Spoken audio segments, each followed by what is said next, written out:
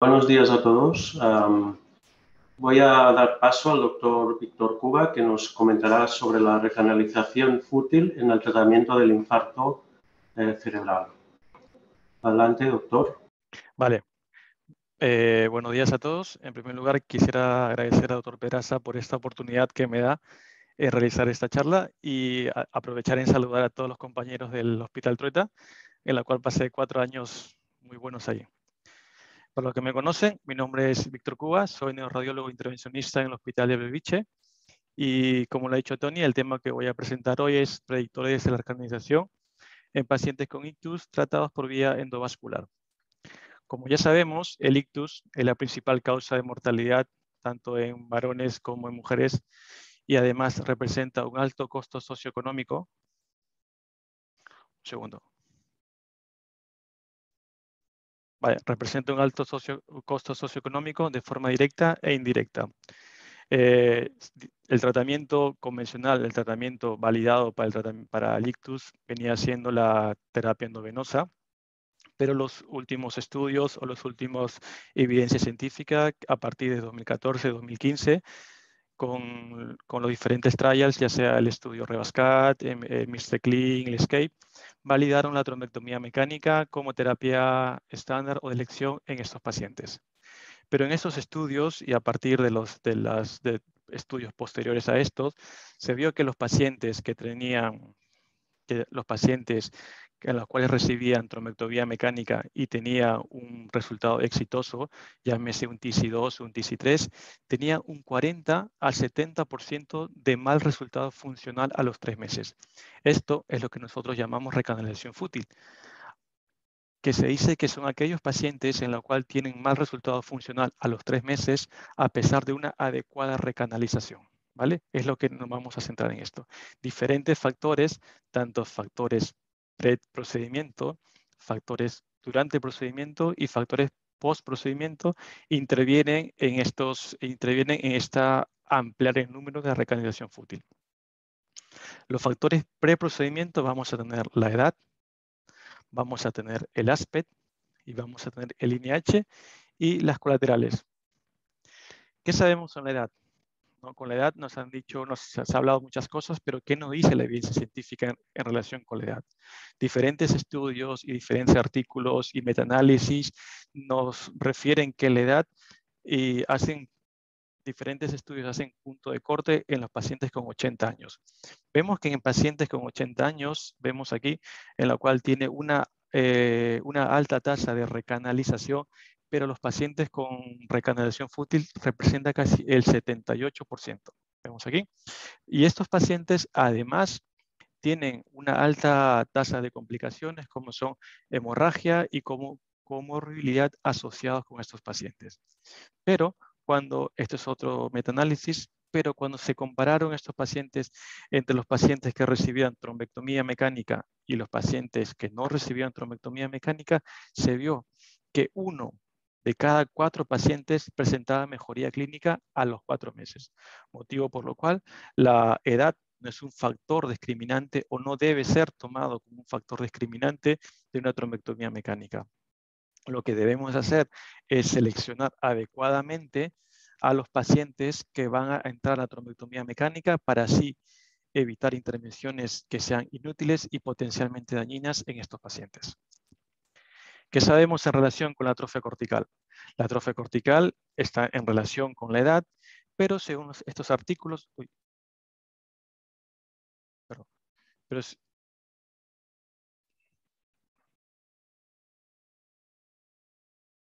bueno, pero según en relación a estos artículos, eh, este, este, era un, artículo en el cual hablaba sobre esto, decía que la afectación generalmente era en la región parictucipital y la región temporal. Como vemos en este cuadro, en este cuadro que está aquí, vemos que aquellos pacientes que tienen mayor afectación de la, de atrofia cortical en relación con la en relación con el volumen, pacientes que tienen mayor afectación cortical, atrofia cortical, soportan menos, menos zonas de, de, infarto. ¿no? Vemos que mayor, mayor afectación cortical, menor tienen peores resultados. En cambio, aquellos pacientes que tienen menos atrofia cortical y edad menor, por ejemplo, de 40, tienen mejores resultados. Por consiguiente, por consiguiente vemos que la, que la atrofia cortical es un factor independiente en relación con la recanalización fútil.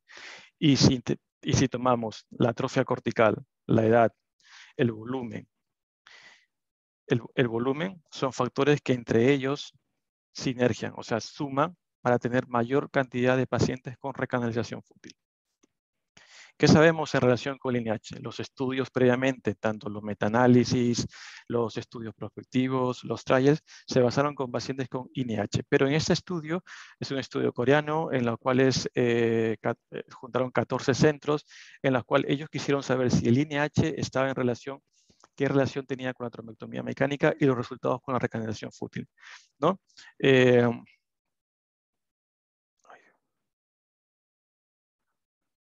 Perdón. Vale, en ese estudio lo que ellos vieron que los pacientes que tenían un NIH bajo, menos de 5, vemos eh, los resultados no eran, no eran, eran negativos, pero aquellos pacientes que tenían un NIH mayor de 6, incluso aquellos mayor de, mayor de 20, tenían unos beneficios terapéuticos muy importantes, ¿no? Por consiguiente, se valoraba que aquellos pacientes que tienen NIH elevado tendrían mejores resultados con la trombectomía. Y en esto, este estudio también lo que hicieron fue relacionar con la edad y vemos que la edad es muy importante y mientras más edad tenga el paciente, más riesgo de recanalización fútil. Y vemos, por ejemplo, en esta gráfica, en la cual vemos que aquellos pacientes menores de 80 años con INH elevado, incluso de 20, tienen un porcentaje de recanalización fútil de 56%. Pero aquellos pacientes con edad mayor de 80 años y con un NIH incluso mayor de 20, vemos cómo, se, vemos cómo la diferencia se dispara, ¿no? De 56 a 91. Porque esto, aparte de esto, es diferente, diferentes factores y diferentes comorbilidades asociadas. Este fue otro metaanálisis que es casi los mismos resultados que, los acabo de explicar. Y por consiguiente, eh, los resultados son de ese estudio fue en que la terapia trombotomía mecánica es más beneficiosa en pacientes con, con INH mayor elevado. En INH menor de 5 todavía no está nada dicho. Actualmente se están realizando estudios para poder discernir y para poder responder esta pregunta. ¿Qué sabemos en relación con el aspecto? Sabemos todos los estudios, todos los estudios, los metaanálisis que se han realizado, también sabemos que se han realizado con un aspecto mayor de 6, pero ¿qué sabemos con un aspecto menos de, menos de 6? Eh, debemos hacer un paciente con aspect 6 que no, que no dice ese metaanálisis. Ese fue un metaanálisis realizado por, el, por un grupo del, de Montpellier, en la cual ellos, ellos separan los pacientes con aspect menos de 6 en tres grupos, que son intermedio, bajo y muy bajo. El grupo intermedio, un aspect 6, bajo aspect de 5 y muy bajo aspect de 0 a 4. Vemos que en el aspect de 5 y 6 la diferencia no es muy significativa. Pero la diferencia se ve más en el paciente con aspecto de 0 y 4, que dicen que en el aspecto de 4 incluso un 22%, ¿no? 22% tienen resultados favorables, no así en el aspecto de 0 a 3. Pero eh, cuando ellos, ellos em, trataron de comparar a aquellos pacientes mayores de 70 años y menores de 70 años, se vio que aquellos pacientes incluso que tienen un aspecto muy bajo, quiere decir de de 0 a 4, los pacientes menores de 70 años tenían mejor resultados, mejor resultados que aquellos pacientes mayores de 70 años. Por consiguiente, eh, en los pacientes con un aspecto de, menos de, menos de 6 o menos de 6, lo que se debe hacer es valorar el paciente según estos resultados, según estos resultados de estos metaanálisis, valorar el paciente y de acuerdo a eso decidir qué pacientes son más beneficiosos de trombectomía mecánica.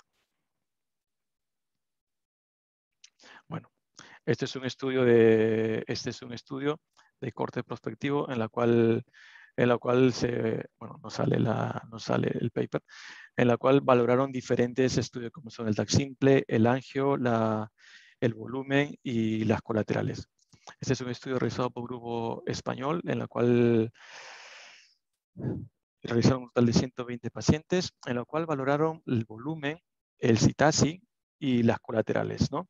De acuerdo, a esta valoración, ellos, ellos dijeron que podían hacer una escala y según esta escala podrían tener más riesgo de recanalización fútil y menos riesgo.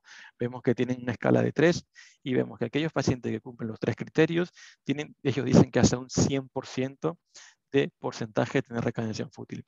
Aquellos que cumplen un porcentaje de 2, 89 eh, y 1, un 57%. Esos son los resultados del estudio previamente realizado. Y en cuanto a los factores que intervienen durante el procedimiento, vamos a tener los números de fases de trombectomía y el tiempo. Esto es importante porque los números, a la terapia actualmente validada para la técnica de trombectomía, de trombectomía mecánica es tanto la aspiración como el stent retriever. Ese estudio se basó generalmente en stent retriever. Ante la pregunta, ¿cuánto tiempo podemos estar en sala con un paciente? Podemos estar 10 minutos, podemos estar una hora, dos horas, un día entero. Si es valorable hacer un pase, cinco pases, diez pases, y eso, ¿qué resultado funcional va a tener con el paciente? Este estudio y estudio posterior, que es un estudio muy semejante realizado en el, por el equipo de Vallebrón, que tuvieron casi los resultados semejantes, y fueron que aquellos pacientes, aquí en este estudio muy importante, por ejemplo, el efecto del primer paso que es lo que actualmente se, aboga, lo que actualmente se busca, que tenía un resultado positivo de aproximadamente el 45%. Y vemos los resultados de ese estudio que dice que a partir del, cuarto, del quinto pase, del quinto pase para abajo, eh, así tengamos una recanalización exitosa, la tasa de, recuperación a los tres meses no cambiaba significativamente. Por consiguiente, a partir del eh, algunos estudios dicen que a partir del tercer pase debemos parar y decir, eh, debemos parar y decir qué estamos haciendo, vamos a ir bien, vamos a ir mal. Por consiguiente, debemos plantearnos en cambiar de dispositivo o cambiar de técnica. En este, estos son gráficos en los cuales vemos que aquellos pacientes mayores de 5 pases no tenían resultados, no tan favorables y también se vio que desde el, desde el tiempo de la punción hasta el tiempo de recanalización, a partir de los 125 minutos ya no había, no había mucha mejoría. Por consiguiente, el tiempo también es muy importante. Este fue un metaanálisis que ha salido hace poco, de, en la cual ellos abogan sobre el efecto del primer pase el, efecto del primer pase, ¿no? Y en este era el, el efecto primer pase y el efecto primer pase modificado, ¿no? Que, que como ya explicaré en su momento, diferenciaba ¿no? de un TC2B de un TC3. Y la pregunta que estos, que estos, que estos se hacían era, ¿cuándo parar? Si tenemos, si tenemos, por ejemplo, un primer pase y tenemos un TC2B, un TC, un TC2B, seguir intentando para tener un TC3. En este, este artículo lo que ellos tratan es de responder esta pregunta. Y lo que encuentran es que tenía significancia, perdón, tenía significancia cuando un la diferencia entre TC2B y un TC3 cuando el tiempo era menor de 80 minutos. Por consiguiente, si tenemos un TC2B en un tiempo menos de 80 minutos, se podría luchar pero si después de 80 minutos, después de estar luchando, por ejemplo, con un tándem eh, que te dio una hora y no podemos abrir y ante un primer, segundo pase tenemos un TC2 y decimos, no, vamos por el TC3 porque queremos la perfección. Los estudios y, las, y, la, y la evidencia científica dice que no va a haber significancia estadística ¿no?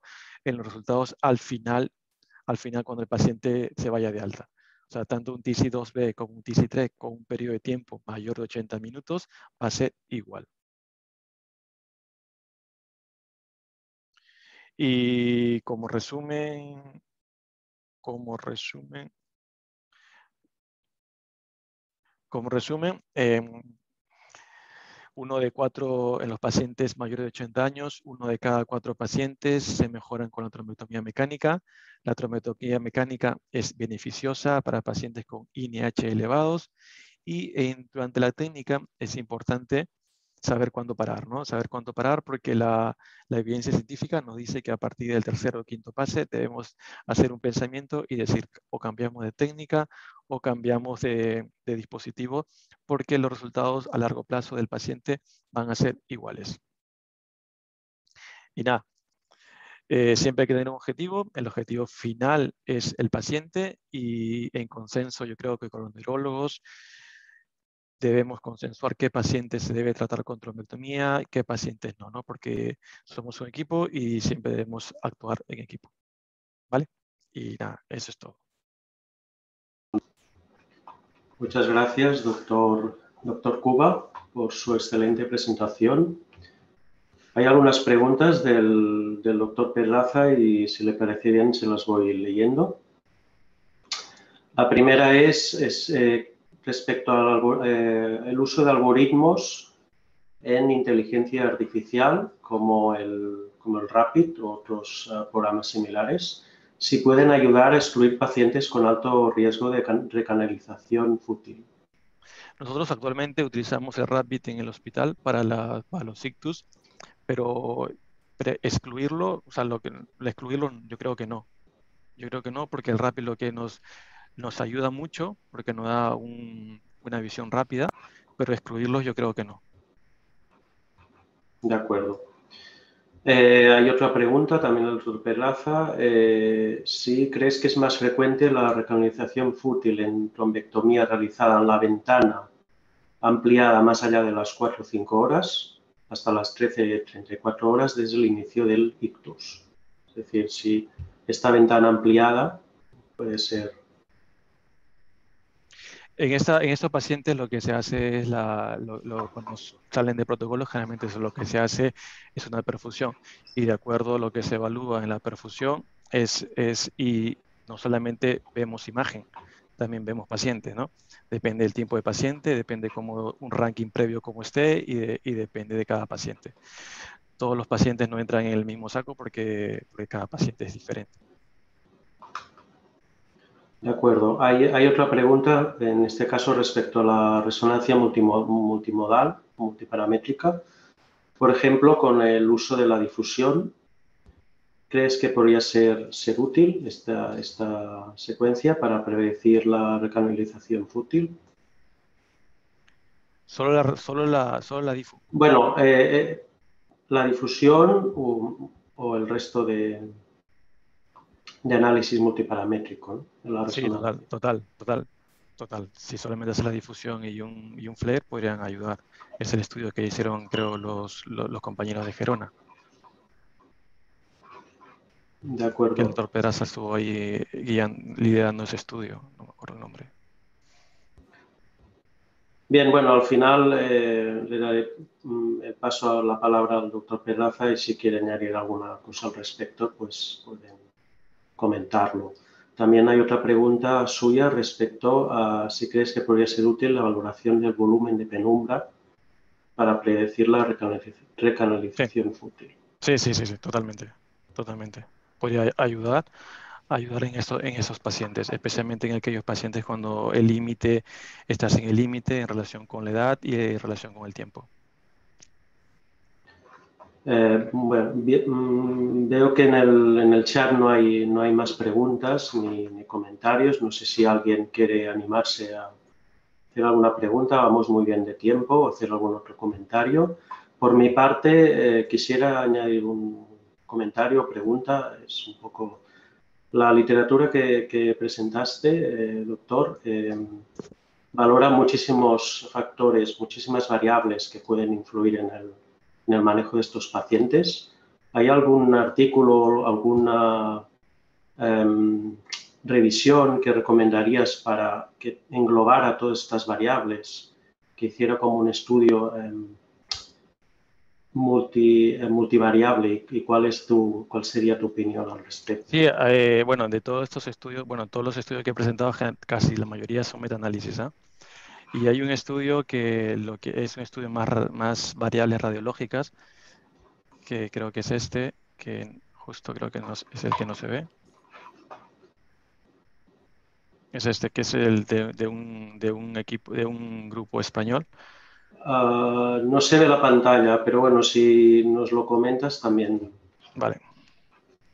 Bueno, es, es, es, un, es un trabajo realizado por un equipo español en el cual valoraron diferentes, diferentes factores como son la, diferentes factores como son el CETASI, la penumbra, el aspect y es, ese en, este, en este estudio en el cual ellos proponían incluso una escala de, de tres valores para, para que ellos, ellos decían que si se juntaban los tres factores que como son la CETASI, el volumen y la, y la colateralidad, tenían más riesgo de recanalización fútil.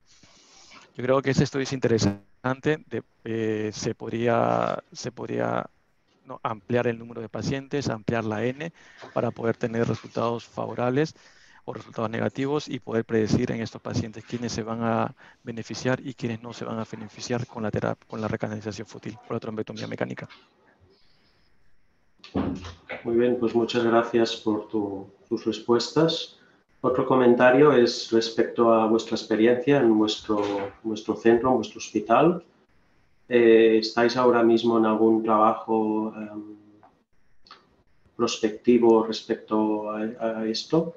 ¿Cuál es vuestra...? Ahora estamos en un estudio con, en relación con el aspect, con el aspect bajo menos de 6 y con el INH menos de 5 valorando si estos pacientes la trombectomía mecánica es, es, es adecuada o, o, no en estos pacientes. Perfecto, pues nada, eh, una vez más, pues eh, felicitarte por, por, la presentación y si nadie más se anima a hacer más preguntas o comentarios, daría paso al, al doctor Pedraza. Eh, bueno, muchas gracias, Tony, por tu moderación y Víctor. Yo creo que ha sido muy interesante toda tu ponencia y yo creo que para resumir mucho, Víctor, yo para la audiencia yo diría el número cuatro. Nos has dicho, hombre, porque la clave que tú has dicho, y lo voy a repetir, es, eh, incluir bien a los pacientes y excluir a los que de verdad no se vayan a beneficiar. Entonces has dicho, hombre, NIH, vale, pero, hombre, menos de 5, 4, no. Después has dicho, hombre, está muy bien que bajemos el aspect menos de 7, 6, 5, hombre, pero ya menos de cuatro el aspect, hombre, no. Y después has dicho el número de pases.